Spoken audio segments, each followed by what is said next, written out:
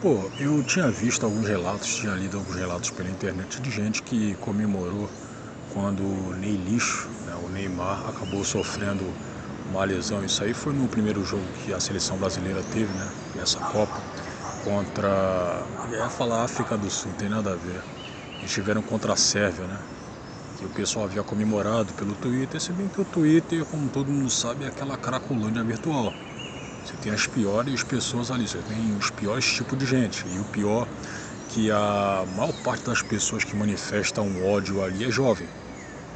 É, é jovem, possivelmente gente que tem problemas psicológicos, né? gente que precisa ficar tomando Rivotril para se aguentar, né? primeiramente, certo? E especialmente é, essa galera costuma ser de esquerda. Costuma ser de esquerda, e é claro que o Neymar passou a ser alvo desse ódio todo, por quê? Porque ele manifestou voto no Jair Bolsonaro, né? E antes disso aí, eu sempre havia sido da opinião, se bem que eu ainda sou, para falar a verdade, de que o povão não engole a idolatria que a grande mídia colocou é a partir do Neymar, cara.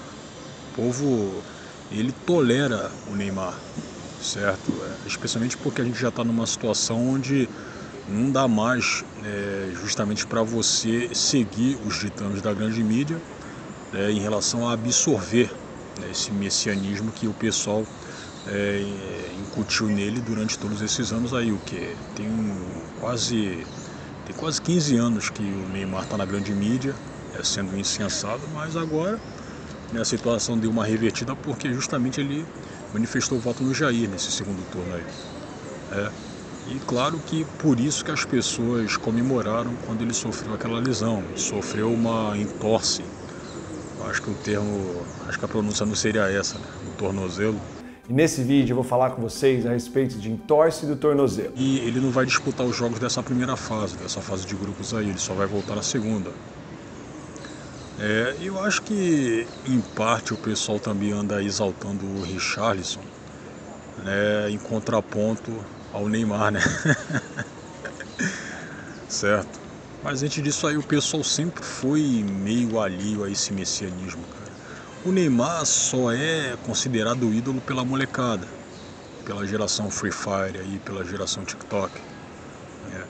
Mas enfim, aí eu ontem, ontem foi domingo, eu vi um vídeo do Rica Perrone falando justamente sobre a grande mídia demonizá-lo, não demonizar o Rica, né, mas demonizar o Neymar é, por conta justamente do voto que ele colocou no Jair Bolsonaro. É, mas eu confesso que, sinceramente, não vi isso aí, cara. Eu ontem, ontem à noite, eu até vi o Fantástico. É, raramente paro para assistir esse, a esse programa. É, e eu vi ali o pessoal manifestando não apoio à Argentina, né? Mas eles elogiaram o Messi, inclusive numa matéria ali onde os empregados que participaram da construção de estádios para essa Copa aí, é, é, o que mesmo eles estavam assistindo a um jogo da Argentina. É a maior parte dos empregados ali da Índia e do Sudeste Asiático, né? Aí o pessoal manifestou apoio pelo Messi, não o pessoal fantástico, né? Mas esses empregados aí. Só que o Rica Perrone falou que a grande mídia está puxando o maior bonde para a Argentina, né? Para a seleção argentina. Cara, eu é, vou dizer aqui de novo, eu não vi isso aí até agora. É, a única coisa que eu vi é de gente é, comemorando o ferimento que o Neymar sofreu. Só isso. É, e eu penso assim, claro que a gente também está numa altura em que, por mais que essa galera canhota fale que os direitistas que proferem ódio e tudo mais, na verdade é o contrário. Mas ainda tem gente que engole esse tipo de coisa, gente que se bobear, putz, o sujeito ele não está nem naquela posição ou de canhota ou de direitista, mas que de tanto que é martelado com mentiras, o sujeito absorve. Ele absorve isso aí e passa a disseminar a mesma mentira, né? Mas, cara, o Neymar, se fosse para ser desaplaudido, se fosse para ser odiado, é, seria justamente pela alma que ele deixou vender para a Rede Globo, cara. É. Porque, pô, cara, em 2010, o povão, não o povão em geral, né? Mas muita gente estava pedindo com que ele entrasse na seleção é, para a Copa daquele ano, para a Copa da África do Sul. O Dunga não deixou, é, nem ele nem o Paulo Henrique Ganso. Inclusive o Ganso ele dá para você colocar no hall de famosos que ficaram né, justamente famosos através de pouquíssima, pouquíssima coisa que justificasse isso aí. É tipo assim, o Ganso ele ficou famoso, né, tá, ficou incensado pela grande mídia naquela, a partir daquela época por ter se recusado a ser substituído. É, foi a partir disso aí, cara. É, foi com isso. É, aí então o pessoal pediu, é, queria, implorou que o Dunga colocasse tanto ele quanto o Neymar na seleção. Né? É, lá na Copa de 2010 eu também havia visto que o Dunga havia comprado uma briga com a Rede Globo, já que ele não queria um revival do papelão que a seleção havia sofrido na Copa anterior, né? 2006, quando o pessoal da Globo, o que mesmo? Eles interrompiam o sono dos jogadores para gravar a entrevista. É, tava uma putaria geral naquela época. Aí então a gente perdeu para a França. Aí o Dunga, né, como já tinha uma experiência como jogador da seleção e tudo mais, é um cara sério, é, ele não permitiu que esse tipo de coisa acontecesse de novo. É algo que eu faria também, mas ele comprou uma briga feia com a Rede Globo, tanto é que, como eu havia falado no vídeo anterior, sobre a hipocrisia da seleção alemã nessa Copa aí do Catar, né, ele havia sido prejudicado pela emissora a tal ponto é, que não havia mais conseguido trabalho no ramo futebolístico por muito tempo. Ele só voltou quando foi técnico do Internacional. É, mas antes disso aí ele ficou um bom tempo aí sem, é, sem arrumar emprego nesse ramo aí que eu acabei de falar. É. Aí então, cara, o... depois que o Dunga saiu da seleção em 2011 e o Neymar entrou, é, mas o sujeito de lá para cá ele sempre esteve mais nas páginas dos sites, dos jornais aí com notícias extra-campo do que dentro de campo, cara. Até porque nas decisões ele quase sempre pipoca. Né?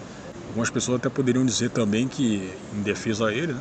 poderiam dizer que, pô, mas sem ele é, a gente não teria conquistado a primeira Olimpíada. Ok, cara, parabéns para ele, para, parabéns pro grupo, né? Mas, cara, geralmente geralmente ele está na boca do povo mais pelas peripécias dele extra-campo. Né? Ah, qual influencer ele está namorando no momento, é, sobre as idas dele nas boates, é, coisas que não tem absolutamente nada a ver com futebol. Então, se as pessoas é, que pegaram para odiar ele agora, é só por conta de uma divergência política, é, se elas tivessem um mínimo de inteligência, e também de, consciência, né? né? Elas teriam odiado ele a partir né, dessas, dessas, dessa bobagem toda aí que ele faz aqui fora, cara. É. Em defesa dele também o pessoal poderia dizer que, pô, mas ele tem o Instituto Neymar Júnior. Ele não é um cara, não dá para você resumir ele apenas um sujeito festeiro. É. Ok, cara, ok. Inclusive poderiam dizer também que se você colocar na balança entre ética e moral, é, não dá para você julgar o Neymar na questão ética. Até porque naquela situação de sonegação de imposto, qual ele foi acusado, né, a qual ele foi acusado, ele havia sido inocentado. Ok também. É, mas na questão moral, como esse pessoal né, tá pegando no pé dele por conta de questões morais, né, já que todo mundo da esquerda toma o Jair Bolsonaro como genocida, só esses adjetivos aí como fascista e tudo, né? e fazem isso aí por questões morais, cara, porque eles é, se acham superiores né, às pessoas que votaram no Jair. É, eles acham que, se bem que nessa questão aí o pessoal joga muito os erros do Lula para debaixo do tapete. Foi como eu também havia falado no vídeo anterior, né? A galera não tá nem aí ela não tá. É, talvez você pode colocar a possibilidade deles é, justamente jogarem para debaixo do tapete os erros do PT, os 13 anos lá, é, especialmente envolvendo o caso de corrupção, é, mas uma grande parcela do público que votou no Lula não está nem aí, cara. Não está nem aí é, para corrupção, né, para ele ter dado dinheiro para ditaduras, né? Não está nem aí para isso aí, cara. mesmo assim eles têm a frieza de se acharem é, o que menos imorais do que Bolsonaro e companhia. Bolsonaro, os bolsonaristas, as pessoas que simplesmente votaram no Jair porque viram que o cara, se você fizer uma comparação básica com Lula, era o menos pior, ou então, no caso de muitos, né, era o melhor. É, eles se acham superiores, eles se acham, estão numa posição moral muito superior dos bolsonaristas. Né? Eles acham isso aí. Né? Então, se fosse para pegar no pé do Neymar, cara, por que, não pegaram no pé dele é, a partir dessa atitude de influencer que ele exerce é, sendo divulgado na grande mídia por muito tempo? É. Aí só porque ele manifestou o voto no Jair, né, inclusive é, eu acho que essas mesmas pessoas que comemoraram quando ele sofreu a entorse lá no, no tornozelo, né, essas mesmas pessoas até pouco tempo não estavam nem aí pro Neymar, cara. Estavam cagando para ele, inclusive gente que possivelmente não, não gosta de futebol também. É, não gosta de futebol porque Cara, eu havia notado que geralmente essa galera retardada doente do Twitter não tá nem aí pra futebol mesmo, cara. Tô falando da, da galera da esquerda, né? Não tá nem aí pra futebol, cara. É. Aí agora tão, tão querendo que o cara morra só porque ele votou no Jair. É, então é complicado, cara. complicado. E os caras que promovem ódio, os que fazem discurso de ódio são os direitistas. É, os fascistas são os direitistas. Hum, sério mesmo. É, é, eu nunca gostei tanto enquanto pessoa, apesar de não tê-lo conhecido pessoalmente, mas eu nunca gostei do Neymar enquanto pessoa, enquanto jogador de futebol, cara. Ele é uma, uma daquelas ele é uma daquelas pessoas as quais tem uma fama é, imerecedora. Tipo a Gisele Bündchen, tipo Anitta, Ludmilla, Pablo Vittar. Ele tá nesse mesmo rol aí, esses caras aí. Né? Mas não vou odiar ele por conta de. Até porque eu votei no Jair Bolsonaro, né? Então não faz muito sentido. então não faz muito sentido eu odiar o cara a partir disso aí. Não faz sentido. É.